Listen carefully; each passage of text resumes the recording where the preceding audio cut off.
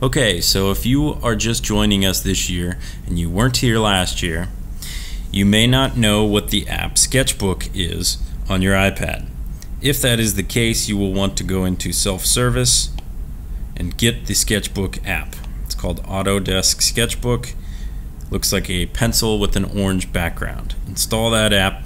You also may want to watch my early tutorial video on getting to know Sketchbook. That will be very helpful. Once you have completed a basic understanding, as most of you have last year, let's go to Sketchbook today and work on a drawing and a skill. The skill that we want to learn how to use today is the selection tool, and we're going to be using the magic wand selection. So with a new blank drawing open, I want you to use two fingers to zoom out a bit so you can see your whole paper. And then I want you to select a color. Doesn't matter what it is, could be any color on this wheel and it could be anywhere in this square. Let's, just, let's pick, uh, how about dark red? Then we go to the paint bucket tool at the top of your screen. With that selected, tap anywhere on your page in there and it will turn the whole page whatever color you selected. Don't forget to tap the paint bucket tool again to exit that tool. Then let's pick the fountain pen brush over on the left. If we tap it again, we can make sure that the opacity is all the way up to 100. And let's keep the size kind of medium, like 7, somewhere around there. Let's pick a new color. Doesn't matter what it is. Just can't be the same as the first one. Now, on this page, we're going to be drawing our three initials. So, whatever the first letter of your first name is, whatever the first letter of your middle name is, and whatever the first letter of your last name is. For me, I'm just going to do Mr. H because that's easy. You need to draw these as block letter shapes. Otherwise, the next part will not work.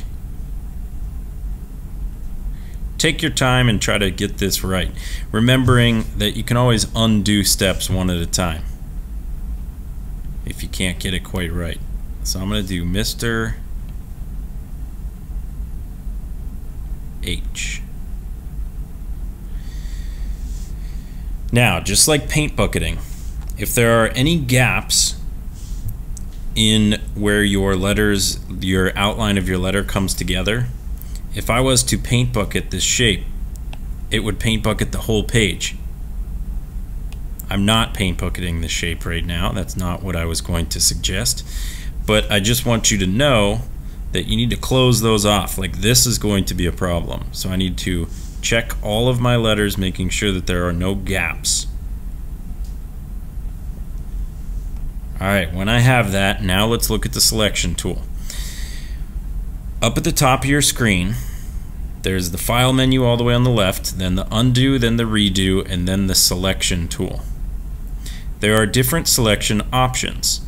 The lasso tool is how you would select an area by kind of drawing that area with your finger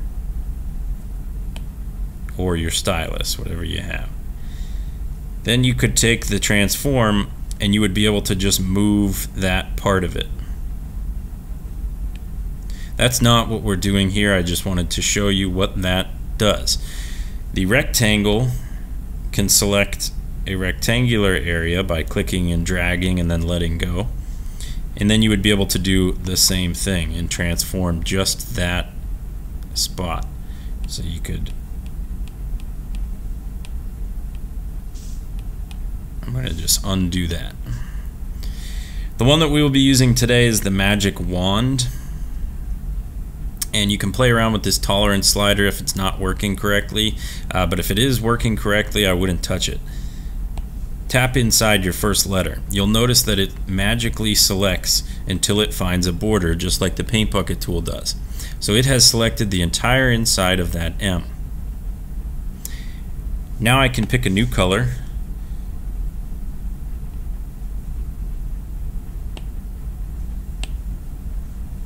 and then I have um, I'm going to draw lines that go out of the M. And I'm going to see that it won't let me draw outside of my selection area. So if you're trying to color a very specific part of your picture the magic wand selection as long as you have a good solid outline around it can be a really excellent way to do that So if you're making a pattern, and you want to be able to make these dots so that they don't extend beyond the border of the shape. It's an excellent way to do that.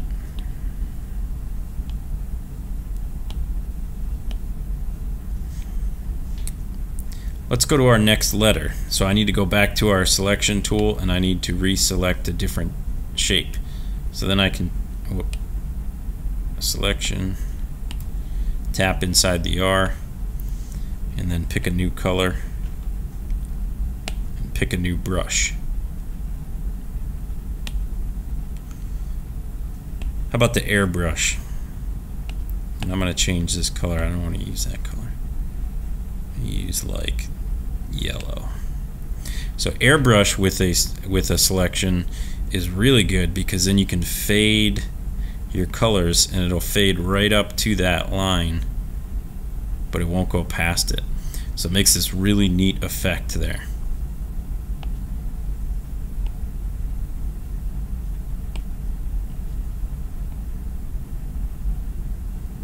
So I could also make this more black on the other side fade up to that. So now it fades from yellow to red in the middle and then to like a dark red. Let's go back to our selection tool and select to the next letter. For me it's a period. Pick a different brush. Try something different. You have these uh, halftone brushes here that are quite cool. So by picking a color and trying something there you can see what that would do. It's going to make a halftone of whatever that pattern is.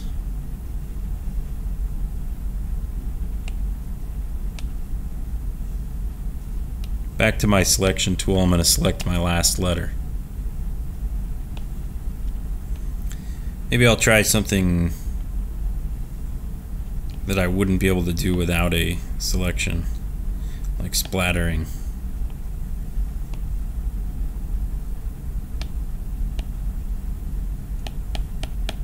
So now the paint can splatter out and not leave the edges of the shape. That doesn't look as good as I thought it would. Let me try something else.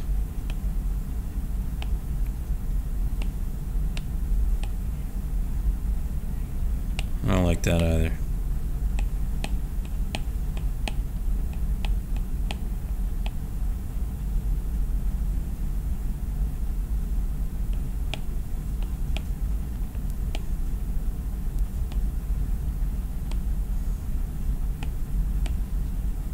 These are cool.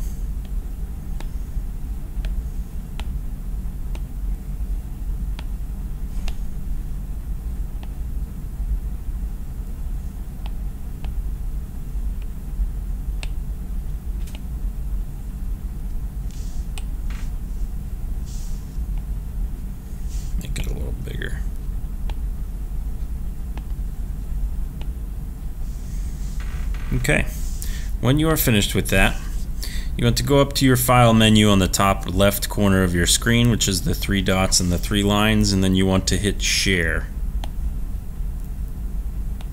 On this bottom menu here, you should have the option that says either save image or save picture, something along those lines. Depending on what software update you have here, it may say something different, but it, they mean the same thing.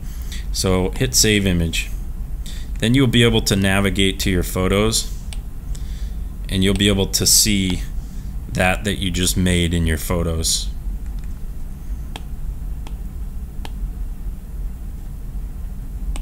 Then you'll navigate to Schoology. Go to your art course.